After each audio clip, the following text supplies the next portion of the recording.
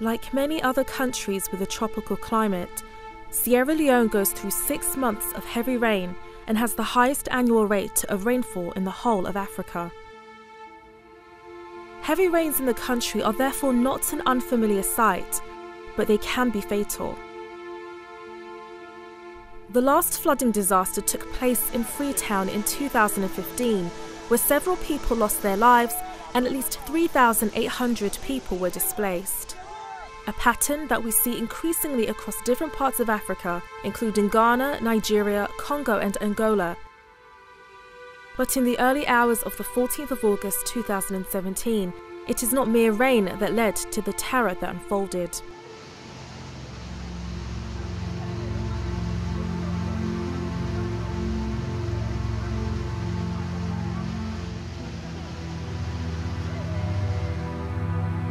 Sugarloaf Mountain collapsed unexpectedly under the heavy weight of rain and mud, destroying all in its path. Many homes were destroyed, and estimates of up to 1,000 lives are believed to have been lost.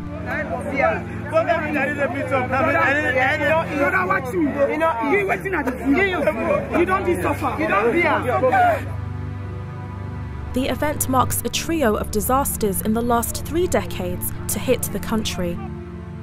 It's barely been two years since the end of the Ebola epidemic, which took place in Sierra Leone and neighbouring countries Guinea and Liberia.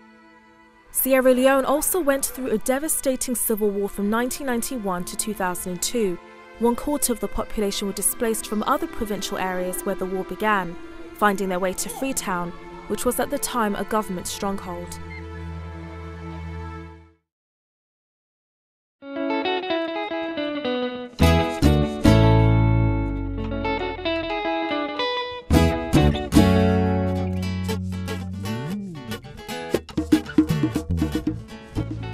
Freetown is at peace now, and with a rising population numbering 7 million people, it has become a bustling city over the years, the streets filled with market traders, carpenters, and other city workers. I have travelled from the UK to Freetown in what is my second trip to the country to see firsthand the work of physicians across continents, a dedicated group of volunteer medical professionals who, over the next few days, will be operating to support those affected by the mudslide and flooding disaster in the city. Six doctors from Sudan and Saudi Arabia have flown to Freetown to provide aid for some of them, it is their first time travelling to West Africa. The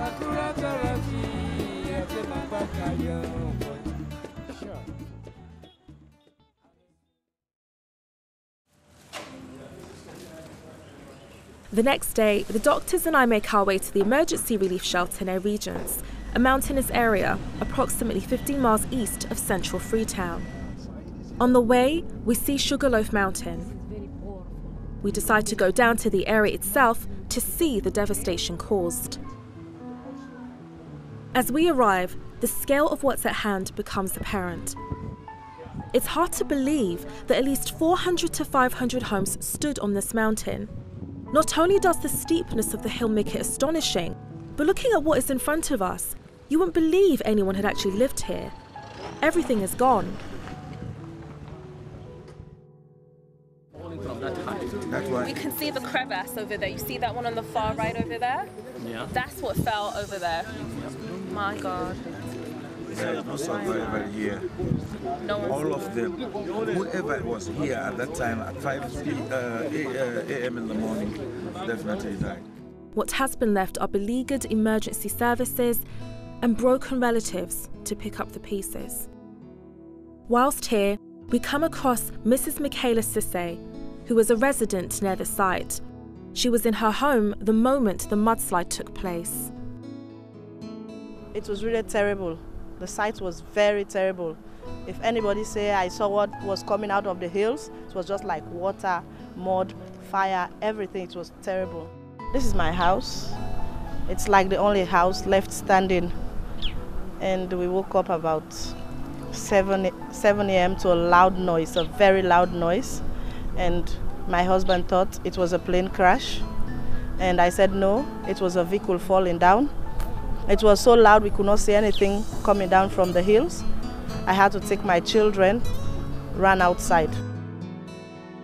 So Saeed, we're here at the site. We've seen the devastation that's been caused. Uh, you and your team and colleagues are here. What are your first reactions to this? It's a huge tragedy. Um, as you come to this destination over here, you go past massive houses, really lux luxurious houses, um, and when you come to the site, you're told that there were the similar houses that were taken away by the mudslide. Um, what's over 500 people have been killed, 600 are still missing, and 3,000 have been displaced because of this. And because of what has taken place, another 10,000 have been evacuated just in case seeing the devastation up close, it's hard to imagine that there's so many people that are still underneath the rubble. And many more people are at clinics like at Regents who require medical and psychological assistance and counselling, which is why it's so important to see groups like physicians across continents delivering that very much needed support.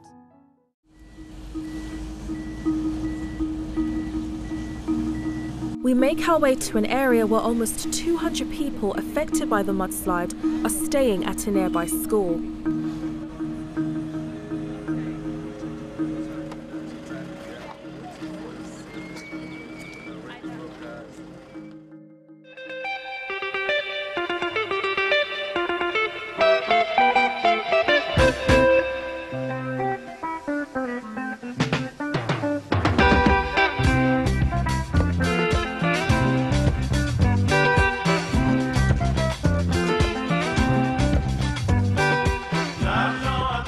Find out from other volunteer workers that the doctors from physicians across continents are the only source of medical support in the area.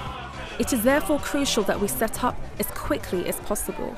I work as uh, a GB consultant. Uh, got an invitation from a physician across the continent, uh, uh from UK to uh, as a volunteer, uh, as a doctor here in Sierra Leone after the disaster happened. Um, so, so, I want to try to have more experience about Africa and about cases here and to help people here also. Meanwhile, word has spread that we are in the area. We find swarms of people filling up in the compound outside the clinic. Amongst those we are seeing tend to be women with young children. I speak to Dr. Huda Mohammed Haroun Adam, who specialises in paediatrics. Uh, uh, respiratory problem and malaria. And one or two, they have a sickle cell disease. Tampa Sese has come with his only surviving 15 year old son. His two other sons died during the mudslide. Uh, this problem, uh, this accident, Monday, the boy left small, left this our time. Ah. Understand? Stone nine damage and so I lost with two, two picking there. Okay. And one safe in my hand. Ah. God and the blessing. Uh. So in copy them, we said in the sleep, uh. then they not go to the place. So in one be left at the Panbori now. When the water, when, the, when this hill, this mountain broke, they can be fall, the water could fall in Panbori, we said the sleep. Uh. So the stone and nine damage and so pass walk draw under the stone. Okay. If this is something all the hats up to for that trip for the support and for medical support and other uh, uh, moral support for those uh, people after the disaster. The, I've seen this morning one lady who's coming because of very high blood pressure. So we have to give her some medication to lower her blood pressure because this is very dangerous on her pregnancy and herself as well. And uh, we give her the drugs and we make sure that the blood pressure settle down and we asked her to go and come back after three hours to make sure that she is stable because she cannot walk to the hospital. Except we have to send her to the yes, big she hospital. Has to go to the hospital. Yes. Tell her, I mean, explain to her, all of this must be done. We will write it for her. She has to know because if she's an Rh negative, she has to take an anti-D as well. Okay. She will go down to our clinic. They will do it. When? Are they open today? Tomorrow. Can you tell her to go tomorrow? Yeah, I will but tell her to go there. They will they will check her HB. Her hemoglobin is, might be very low. Yes, we have technicians there, now. lab technicians. Now. Now? Yes. Where is left with her? Okay, not in the clinic. She can't go to the emergency in the hospital. We have lab technicians. You know, our, the doctor that he was here, Dr. Koman, he said if you need any help, this patient, she needs to go to the hospital. This is such cases needs to go to the hospital. Well, let her go. By her own? Maybe she will collapse in the street. She should be, she could be in the disaster, we are just seeing them for their medical issues, for the um, support, like uh, any if they have any problem with the, because with this weather and with this disaster, sometimes it's very hard for them even to find the simple things. So we will give them the the vitamins. See, it is raining now as well, so it is making the things even more difficult to reach to us. So we were planning even to go to the hospital to see more patients there, but here is the disaster what happened. And uh, we have in our country, we have a very uh, rich uh, food, which is the dates. So we are bringing for them, and we are trying to give for the pregnant women some dates. It will give them the nutrition, and it will give them as well the, the feeling of that we are coming for them. And this is the main issue.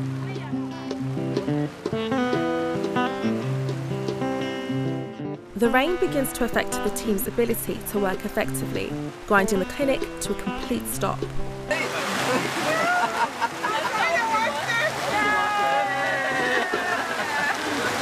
Once the rain finally stops, I and the medical team head out to a tent where there are many children who survived the event. I'm told that some of the children have lost their parents and have become orphans. Others have been made homeless with some members of the family.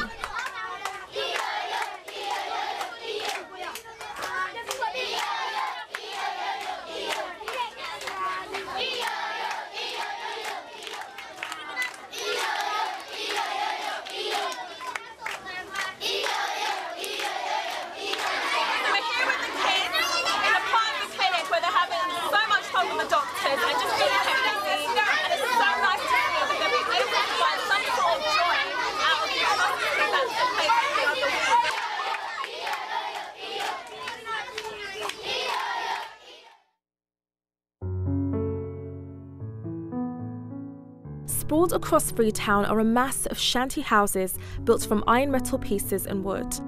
Many of these houses were constructed by those fleeing anti government rebel militia. These shanty houses, otherwise known as pambodies, are a gradual phenomenon and feature of the landscape, playing a huge part in the city's congestion. Along with rapid urbanization, houses which are not being reinforced into the ground are being built on mountainous terrain that is simply not suitable for building on. That people now have to build further atop these mountains shows the urgency of the situation. I speak to Mohammed Sharif, who works part time with physicians across continents here in Sierra Leone and owns his own construction company. He explains why this has become such a huge problem. Just after the war, everybody went out to try to get their own little settlement where they can stay and uh, live with their family. Some people came from the provinces, they never returned home. Uh, some people grew financially, so they think, think it wise that it is nice to be uh, living up these hills because of the climatic condition here. But they forget the fact that joining to this particular type of place and building this type of house without proper security is, an, is danger. We can't blame them because they don't know. They think that uh, by building these houses, they're building it with cement, concrete and stuff. They forget that these places are not that strong. They are not well properly checked before they build these houses.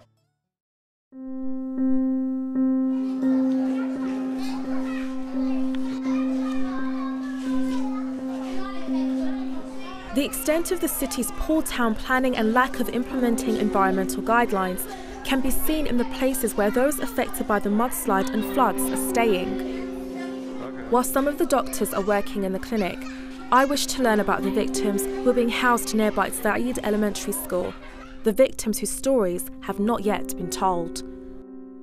I'm here outside Said Elementary Community School, which is not too far from the clinic which has been set up by physicians across continents. Now, 180 of the victims in the mudslide event are actually staying here. And there are many women and children who are lying on the floor as well. So the conditions aren't necessarily very good, I'm hearing. Um, but I'm going to go inside and meet some of them and see what happened and, and hear their stories as well. What should be a functioning elementary school has now become a type of home for those who have none. The catch is that the conditions here are shocking, with poor lighting, ventilation, and space. There is about there are about uh, 180 women and children uh, who are living in this uh, big uh, one room in this uh, school. Uh, they are suffering from malaria, from chest infection, and psychological problems. Most of them suffering from insomnia. They are afraid to sleep after their disasters because the disaster happened as a night. Now they are they are they are homeless. Inside, I meet with a woman in her early 40s named Adama Toure, who has three children Daniel, Sento, and Daniela, and I hear how she escaped the mudslide.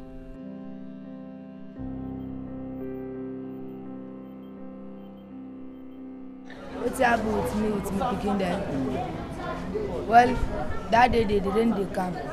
They didn't they come. Oh, they, they start working at 2 o'clock na net. Say, by then 5 o'clock, the man they woke. Now she got to work in the room. Sit down. Now he grab, now he say, Adama, I said today the rain boko. I said the water wall in the veranda. I said me I can't go. I said okay. Now you go. Oh you go. I let on me hat not take. Now grab. The rain they come. The grab where I don't grab. This now he grab. He follow me. This follow me. Then they grab. He they make fire. Then they left na the bed. On. Get the rain they come. At the time for push down, the Lord don't go inside. No, no, they gree. I don't know. The rain they soak me with me picking that this day na bed they sleep. All the fence don't cut. That time the man no dey. Go. Cover me pan body inside the load This week I no see am.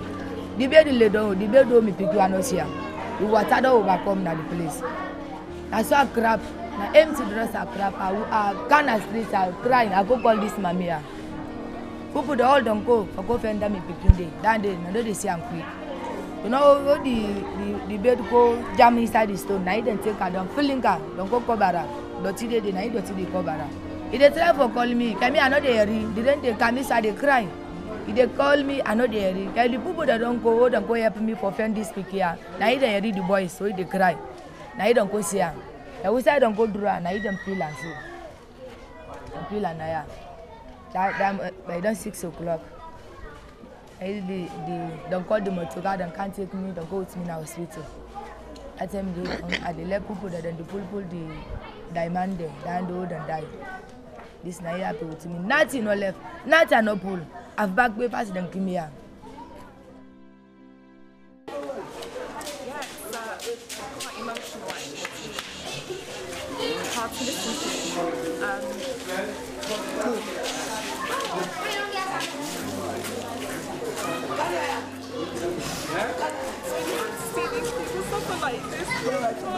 Sorry, sweetheart.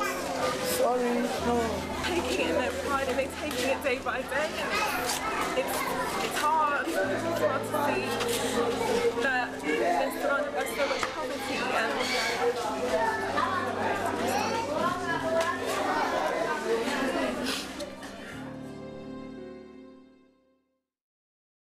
Next time, queues at the mortuary have been filling up as families look for loved ones.